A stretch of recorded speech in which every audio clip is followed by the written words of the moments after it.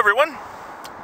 I am up here at the Blue Chip Mine today. Came up for the weekend to do some work up here. Just investigating a new spot and checking things out. It's been a couple months since I've been up here. On my drive in, I found something very interesting on the road. Someone had put up a gate on the road, but it didn't look like an official gate. It didn't look like forestry or mines or didn't look all that official. Luckily, it was unlocked. So I came in anyways, and I found something disturbing when I got here.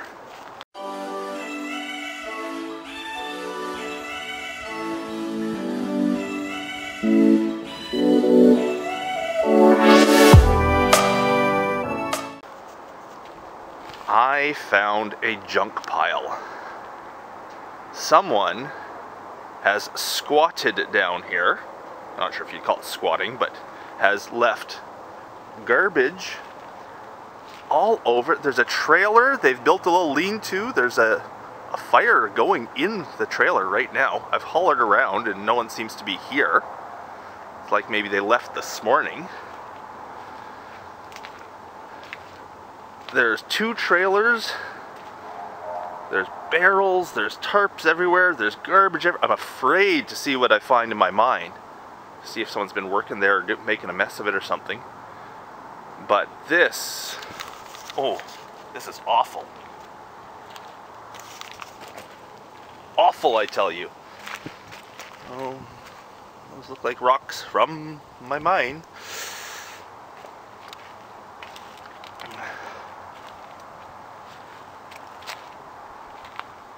There's smoke coming out of the stack right now.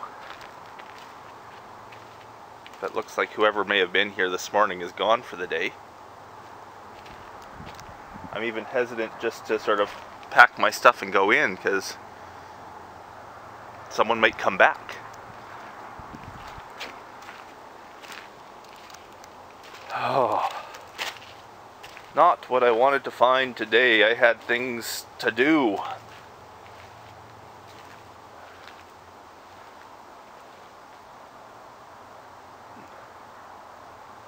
What a mess. Hmm. What a mess.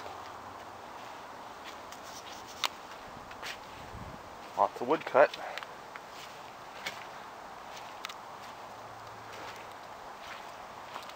Big old trailer here.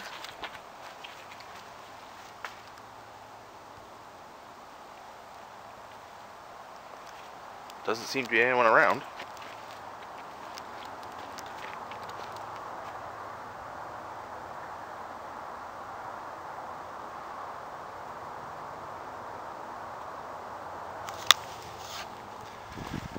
Well, I'm gonna go and unload and go into the mine. Oh, maybe I'll just go for a wander over to the mine and see what I see.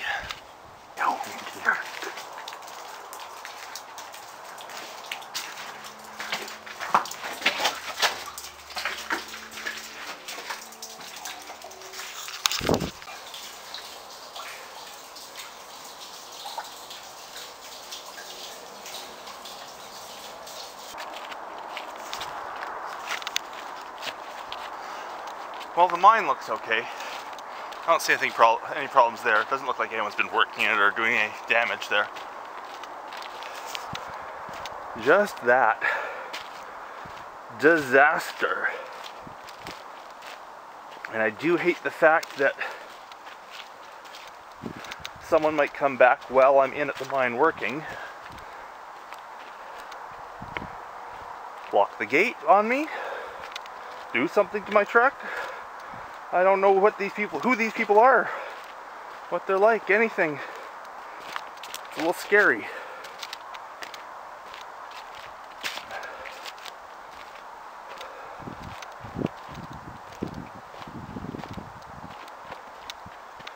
Well, I'm gonna unload. I'm gonna go in and do what I wanted to do today. See what happens. It's all part of the adventure, right?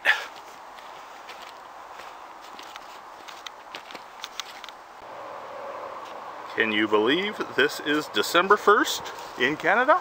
Woohoo! Look at that weather out there. It is gorgeous. bit of snow on the on the mountains, but oh, it's beautiful out here. A bit of snow up there on the mountain. December 1st.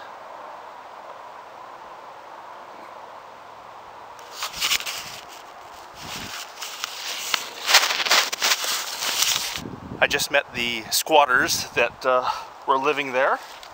I walked over to the mine to talk on the camera. They seem like okay people. They've obviously hit hard times, lost their house, and they're not, they're planning to stay there for a few months. They promised to clean up and when they leave to take all their stuff with them. So I think we're okay. I think it's gonna be okay. I think I'll leave it at that and see what it looks like in the spring when I come back. They seem okay.